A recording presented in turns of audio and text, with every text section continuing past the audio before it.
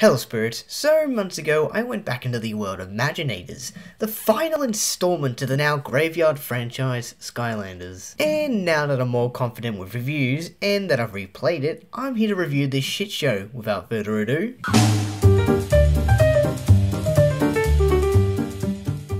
So this game is very far from perfect. Dare I say worst in the franchise, and even as a kid I felt like something was missing.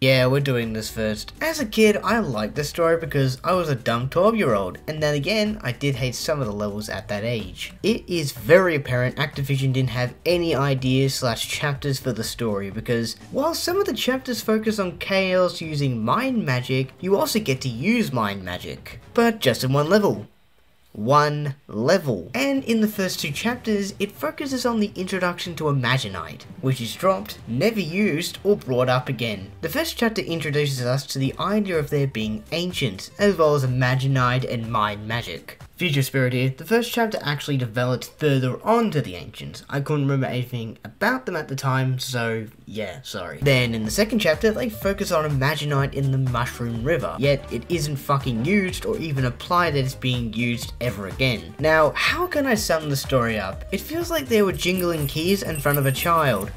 Oh, it's about mind magic. Oh, it's about Imaginite. Oh, it's about a vortex, defeating a guacamole monster, making a Trojan horse cake. And I didn't even mention, I kid you not, the focus lore on the earlier Skylanders. If what I said didn't tell you how bad the story is, this should, because in the sixth installment in the franchise, they give the on-brand Skylanders voices and personalities in cutscenes, but they had the other main characters take back seats. If Mags is playing a bigger role than Cali or Flynn, something's wrong. I also think that uh, when writing this, they were trying to resemble that of the animated show, Skylanders Academy, but it's not just that. They also gave the other Skylanders aspirations or lore to their powers slash culture. Sky Fortress is about Jet-Vac's Species Battleship Hangar. Fizzland is about Pop Fizz's Beast Potions. The Golden Arcade was about Trigger Happy. Dragon Temple was about Spyro.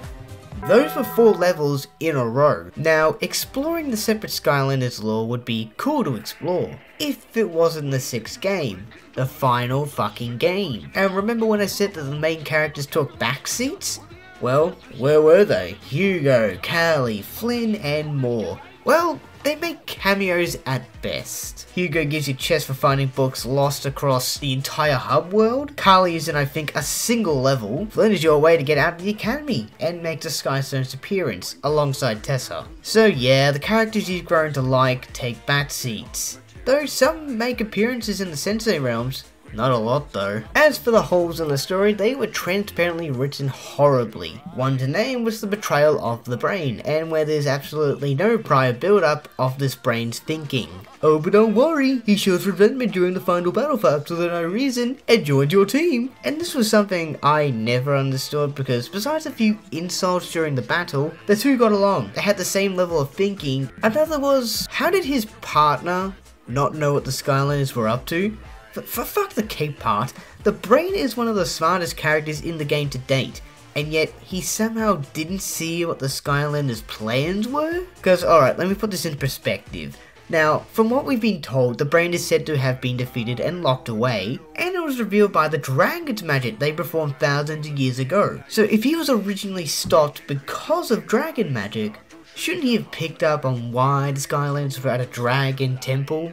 For absolutely no reason. And I'm using another example connected to the mind control saga. So after Skylands was mind controlled, Kale set every Mabu, Sheep, Skylander under his belt. And because plot, Spyro is the only one left standing. And while he does give an answer to why he's not mind controlled, how does he know? It, it just felt like Expedition for the sake of moving the plot horribly. Because he's perceived as a really dumb dragon in this, and this is the same dragon that misunderstood Stealth Elf's request in the third level. And not only that, but at the end of the level, he finds the dragons. I... Uh, where were they? And it's not just that, but it's also that the Skylander you control isn't mind controlled either. Regardless if I picked a Sensei or Imaginator, what makes us immune?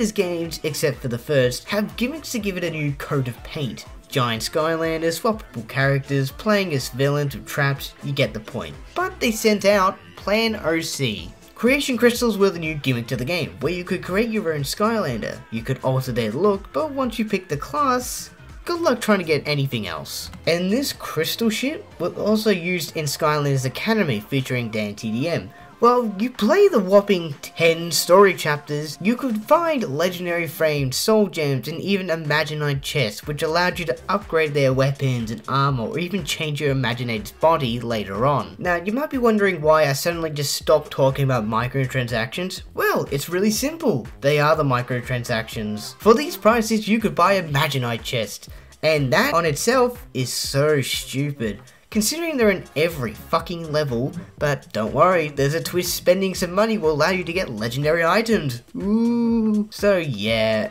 Activision have added really bad gimmick and transactions into their game. But actually, you know what? I forgot about the actual gimmick.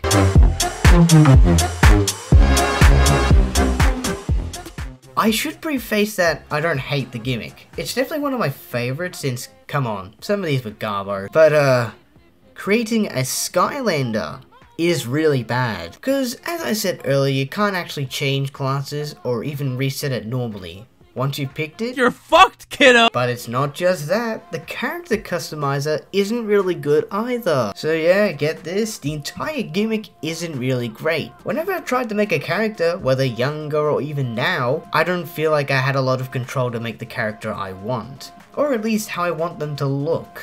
Don't get me wrong, I like customizing my characters, but how they turned out wasn't fun. So unlocking stronger armor, weapons, voices, or even sound effects is fine. That's what most games do when it comes to that kind of look, either for beneficial or cosmetic gain. And you'll get more as the game progresses because of the chests at every step. But with the look of the characters, Activision will hand you ones you don't want. In other words, you gamble for what you want if you buy them.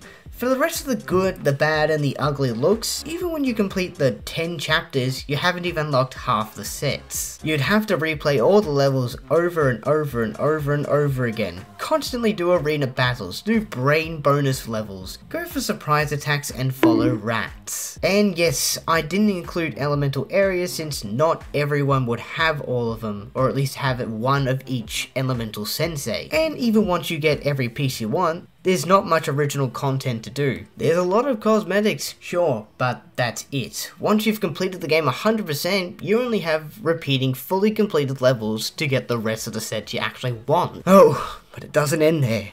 I hate the fucking decisions they made with two of the classes. Now instead of giving people an option to have entire bodies for two of the classes, what they give is instead this. A no-legged swashbuckler and a walking head ninja.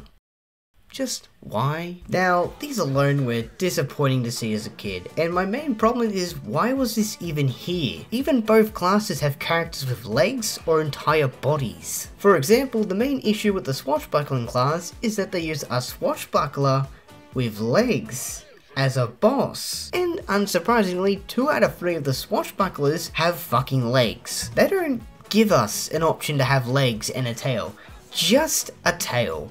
And the same is said about the ninja class. Two out of three of the ninjas who use ninja stars have entire bodies. Hell, Starcast literally has an extra pair of fucking arms. Future Spirit here, I just realized that the Quickshot class also has the body of a ninja. Oh, but I'm not done Activision, I still got the pan in hand. Another issue is the entire idea of creating your own character. Each new Skylander in every game has been unique in some way. And when a lot of Skylanders you've grown up to love have been dragons, fish, sharks, this thing, we don't even get to pick their species, their body type. This doesn't count since it's tallness and muscles. Your Skylanders have to be humanoid battlers, spirit-like swashbucklers, or bodiless ninjas, and that's not really original. And so with this crappy system, I tried making two of my characters into the game, which I couldn't even get to a level I even liked. And that's because I literally had nothing to work with. They give you nothing to create your character than basic figures that half of them just look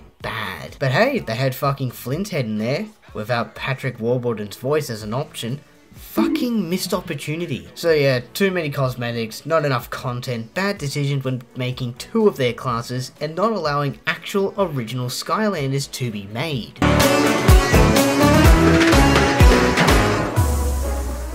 Now, this is what sucked most about this game, was in the creation shit. You know how whatever Skylander from any previous game can be used in future games? Well, actually they do allow you to have that, but with the cost of the Gen 1 through 5 Skylanders being nerfed a bunch. To sell as many senseis and crystals as they could, I could tell they just needed to make sure the characters you played were crap and that's so you could have more senseis and abandon your weakling Skylanders. And honestly that sucked, since early in the year I remembered grabbing a bunch of Skylanders I had ready to use Crystals, Senseis and the other gen Skylanders only to find out they were utterly weak against every and any enemy, regardless of the mode they were in.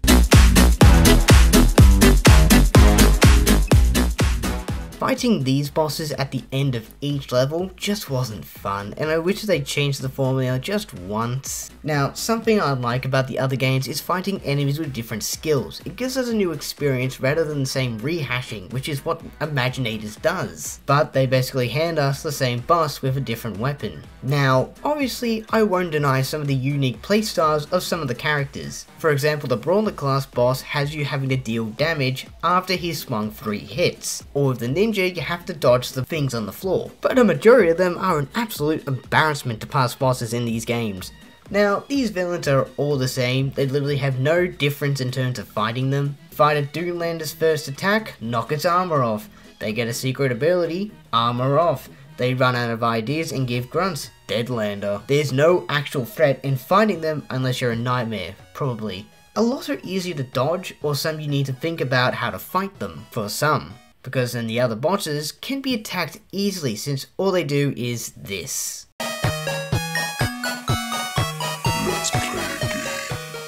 Oh, oh my god, this is the worst handling of, well, fucking anything I've ever seen before. Now, dragon gliding was introduced as a method of travel in the hub world.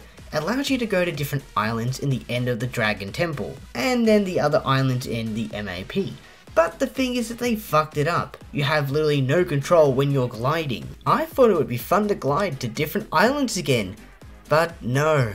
Just no. When you get these dragon wings, you move really slowly, and the controls are only worse. You barely turn left or right, and if you try to glide backwards, you just stop dead in your tracks. And you can't even glide down or have some way to drop down. You have to patiently wait until you're near the ground. You can't just fall into the abyss or fall into an island. No. You have to glide until the game goes, Alright!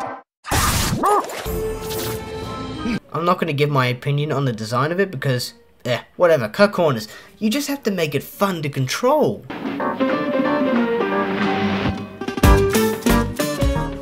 Amongst this mess, have they done something well with the game?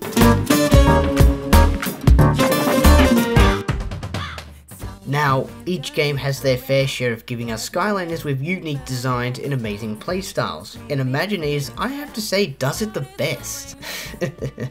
I am not referring to the creation crystals because, well, they're not as good or enhanced as the actual figures, but yeah, they knocked it out of the park with these senseis. While they themselves only offer a singular new ability and unlocking sensei realms, they don't offer anything new in content, but they do offer you a platter of different playstyles to choose from with your money. Want to play as a fast damaging 4-armed ninja who can shoot 4 shurikens, summon a megastar, and ship, and go invisible in front of enemies? Starcast is your guy. Want to play as a mother that can zap her son with lightning? Have more attack when he's out playing, more defense when he's with you, and attack with two swords? Then go bad juju. And that is only a handful of the senseis you can play, and there are many more before price tags are slapped onto them.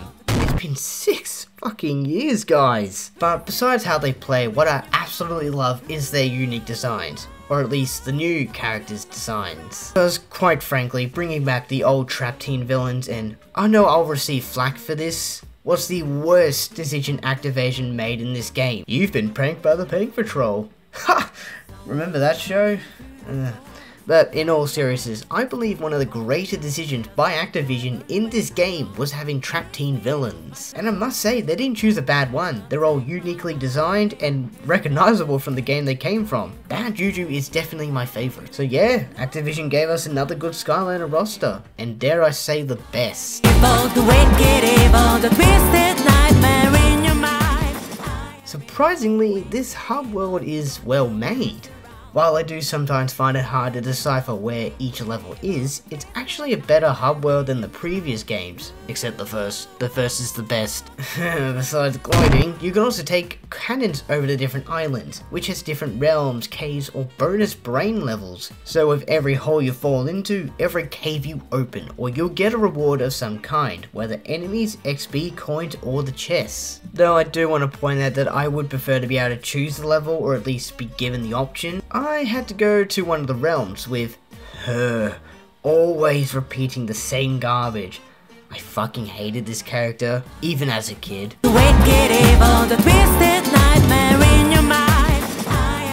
Okay, so I like the new Sky Stones. Now, I'm not sure if this is a hated topic in the fandom. If it is, I'm sorry, I preferred this version, honestly. Now, looking back, I, uh, totally forgot you could buy or earn Skystones and put them into your deck. And then I checked out the later editions and it just made it look like a card game instead of its simplistic rules and giants. But Imaginators brings it back, giving you and your opponent an equal chance of winning or losing. Honestly, when you're packing powerful decks, it's clear you're going to be on top. There's no denying that, but this adds, I mean, some level of challenge when finding an AI, and plus you can actually see the cards they have and make strategic moves that help you win. Or make you lose. Kind of like chess. But yeah, doing Sky Stones was just something to do.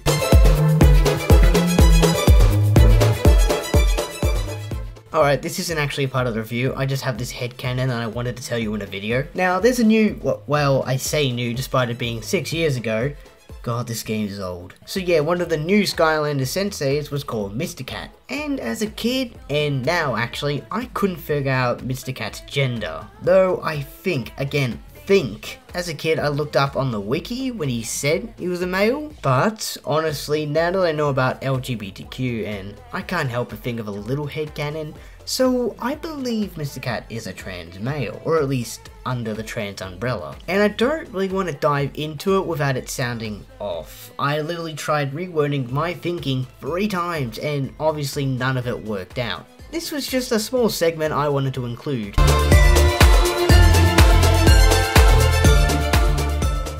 Obviously, I didn't cover everything.